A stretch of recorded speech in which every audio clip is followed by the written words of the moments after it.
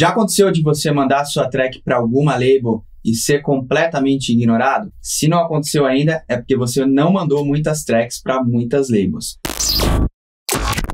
Isso é muito comum de acontecer na vida dos produtores e acaba sendo muito frustrante. Eu recebo diariamente nas minhas caixinhas do Instagram pessoas reclamando, frustradas, que enviaram um som para label e não tiveram resposta, não sabe se a música tá ruim, se a label que não tá legal, se a label que não tá adequada. Então hoje aqui a gente vai falar sobre quatro pontos essenciais para você reduzir as chances de ser ignorado e aumentar as suas chances de lançar nas labels que você deseja. Se você seguir exatamente os quatro pontos que a gente vai comentar aqui hoje, as suas chances vão ser bem maiores de lançar as suas tracks nas labels dos seus sonhos. E eu já adianto que o quarto ponto é o mais importante. Então presta atenção até o final desse vídeo aqui, não sai do vídeo porque o quarto ponto é o mais importante de todos. Então vamos lá. Primeiro ponto é a música, é o pré-requisito. Não adianta você querer vender algo que ainda não tá bom. Não existe milagre. Nenhuma label vai querer, nenhuma label grande, uma label de nome vai querer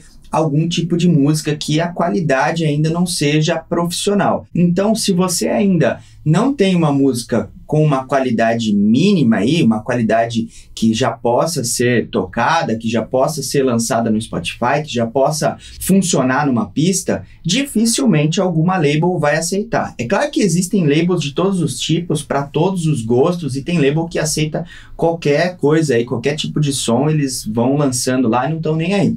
Mas quando a gente fala de labels um pouco mais sérias, essas labels têm um certo critério de curadoria. Então é importante que você tenha feedbacks nas suas tracks, que você faça parte de algum grupo, que você tenha algum tipo de mentor que possa realmente te dar os feedbacks, falar essa música tá ok, eu acho que já dá para lançar.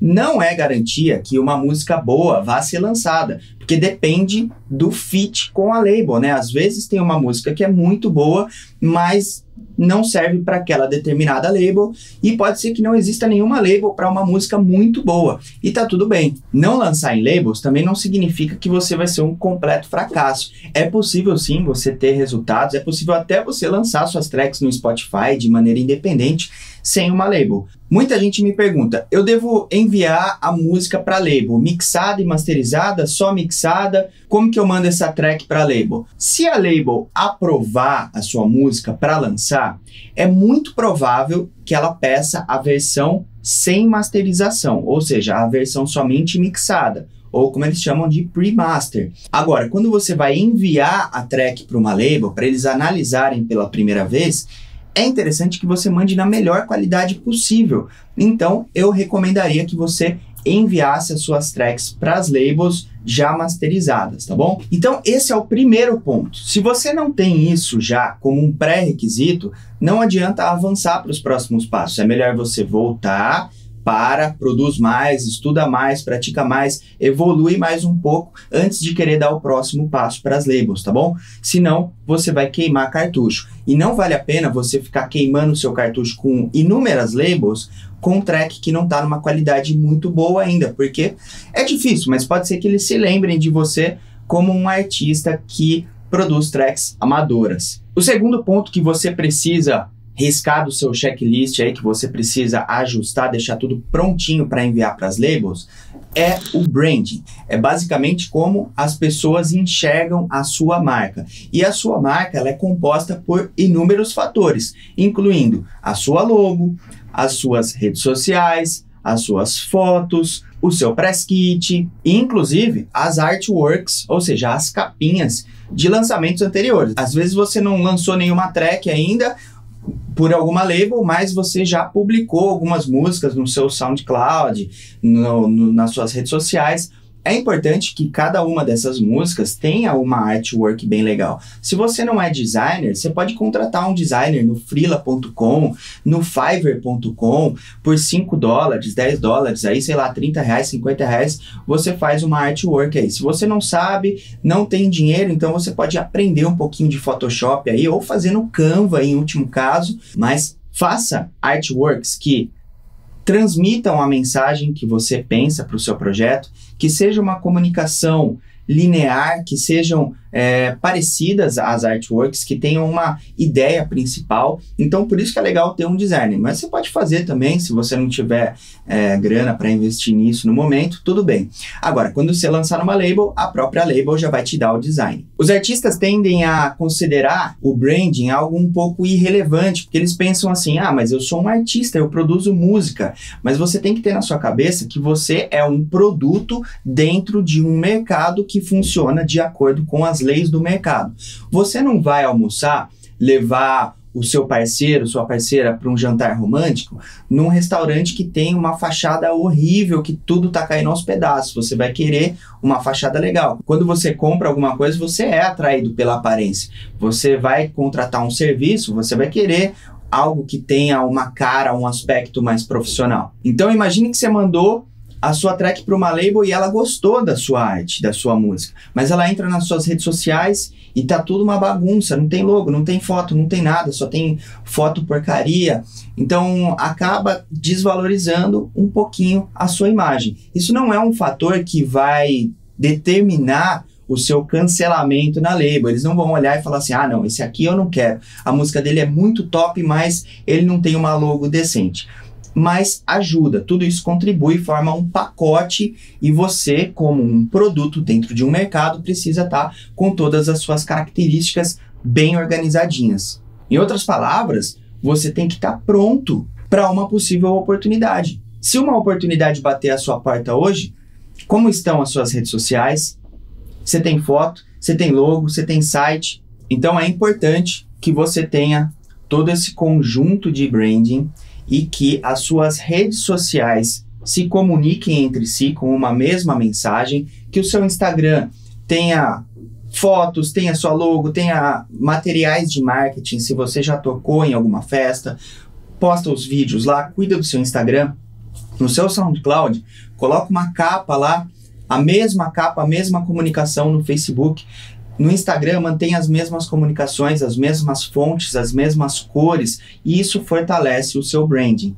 O terceiro ponto é o marketing.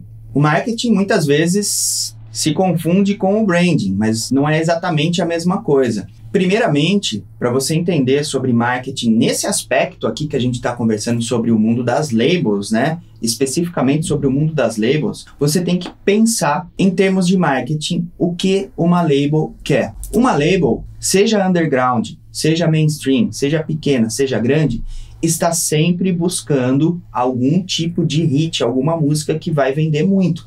O interesse da label é vender. Então, quando você pensa em marketing, você tem que pensar no que o mercado está buscando em termos de cultura, em termos de arte, em termos de música. O que, que o mercado está consumindo. E aí a gente entra numa zona muito delicada, né? de produzir aquilo que você realmente ama ou produzir aquilo que o mercado está pedindo. E a minha resposta para isso é que existe um ponto de equilíbrio, existe uma zona de intersecção entre as suas verdadeiras paixões e as tendências de mercado. Você não precisa se prostituir, mas também você não precisa se enfiar numa caverna. Tá cheio de músico profissional aí que está passando fome. Infelizmente, pessoas talentosas não conseguem colocar sua arte no mundo, não conseguem vender, não conseguem marketar a sua arte, porque são extremamente talentosos, mas não sabem vender, não sabem analisar o mercado e são orgulhosos, não querem se adaptar às tendências. E isso é muito ruim para a carreira de uma pessoa, porque você acaba sendo excluído do mercado e isso é, é triste, é injusto, porque realmente muitas vezes são pessoas muito talentosas que fazem música muito boa, mas é preciso estar atento. As regras são essas. A gente não muda as regras, a gente se adapta a elas. Então, o que, que você pode fazer?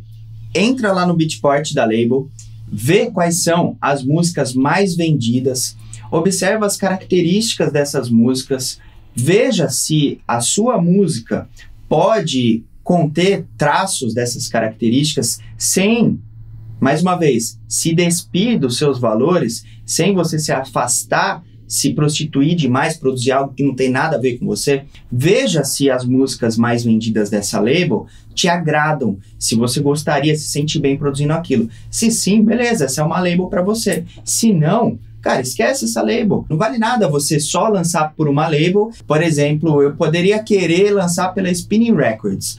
Mas, cara, é uma puta label, vai me trazer uma puta visibilidade. Mas não é algo que eu tenho vontade de produzir. Eu não me sentiria bem produzindo isso.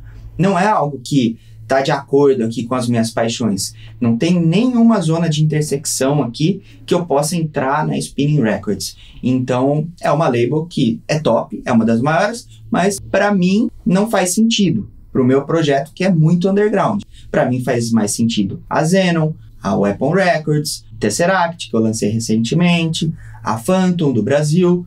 São labels que são mais underground e têm o fit com as minhas ideias. Então, quando eu falo disso, parece que eu nem estou falando de marketing, mas estou, porque se você pensa, fazendo um paralelo, uma empresa que está desenvolvendo um determinado produto para ser vendido. Um produto, ele é criado, ele é desenvolvido de acordo com as necessidades de uma população. Não é o contrário. Eu não crio um produto e vou tentar criar a necessidade no, no povo. Eu observo as necessidades e crio um produto que resolve esse problema. Com a sua música é a mesma coisa. Você vai olhar lá na label, vai ver quais são as músicas que estão vendendo muito. Ah, essa aqui, essa aqui, essa aqui. Pô, eu acho que eu posso seguir mais ou menos essa linha aqui, claro, com a minha personalidade, com a minha ideia, mas eu posso seguir essa linha. Se elas estão vendendo, é sinal que existe um povo aqui que tem esse desejo de comprar esse tipo de música, de consumir esse tipo de arte. Então, eu estou basicamente fazendo uma pesquisa de mercado para criar um produto para ser vendido para essa galera. Isso é marketing. Eu não sei quais são os seus objetivos, mas se você quer entrar no mercado aí e crescer, ficar famoso, ir para o mainstream, principalmente a galera do, do mainstream, das músicas mais comerciais, você precisa estar tá muito ligado nessas questões de visão estratégica de mercado. Você precisa olhar fazer a sua estratégia, fazer o seu planejamento para você entrar numa brecha de mercado. É muito errado você achar que por ser talentoso, por aprender, por ter desenvolvido habilidades incríveis de produção, que o mundo vai parar para te olhar. Não é bem assim. Você precisa olhar para o mercado de forma muito estratégica e procurar uma brecha para você entrar, para você fincar a sua bandeira e defender o seu lugar. E o quarto ponto eu disse que é o mais importante, né? Esse ponto é o network, os seus relacionamentos. Olha só, eu fiz uma pesquisa e existem labels que recebem cerca de 100 demos por dia, 100 tracks por dia para eles ouvirem. Imagine só que cada track tem 5 minutos, são 500 minutos de tracks por dia. Tudo bem, o cara tem o A&R, que são as pessoas que vão fazer a curadoria ali das tracks, o cara vive só para isso, mas você imagina ouvir 500 minutos de track por dia? Cara, é surreal, não dá. Os caras não conseguem dar uma atenção muito boa para cada track que chega lá. Então você precisa dar um jeito de se sobressair. Você precisa dar um jeito de sair dessa massa e entrar de uma maneira um pouco mais estratégica, mais assertiva. E é nesse ponto que entra o seu networking, os seus relacionamentos. Como é que você faz networking? Você precisa ir conhecendo as pessoas. Você precisa ir chegando, como eu gosto de dizer, chegando pelas beiradas. Você vai chegando aqui, vai. Todas as tracks que eu lancei até hoje na minha vida, nenhuma delas foi por submissão no formulário do site de uma label. Eu já mandei muitas tracks, inclusive na atualidade, assim, tracks boa, de qualidade boa, mandei para várias labels assim pelo formulário no site e não obtive nenhuma resposta. Todas as tracks que eu lancei vieram de relacionamento. Então presta atenção nesse fator que ele é essencial. Dá para mandar track pelo formulário lá e conseguir? Dá funciona também. É assim que funciona o mercado. Senão não teria o formulário lá. Senão eles não teriam um, um cara para ouvir as tracks o dia inteiro. Mas é muito mais efetivo você ir comendo pelas beiradas, chegando ali, descobrindo os contatinhos, fazendo amizade, pegando o WhatsApp da galerinha, pegando o Instagram, e aí você vai chegando, chegando, chegando, chegando, chegando, e você finalmente chega em uma pessoa que é tomador de decisões ou uma pessoa influente dentro da label. Labels pequenas, você já fala direto com o dono.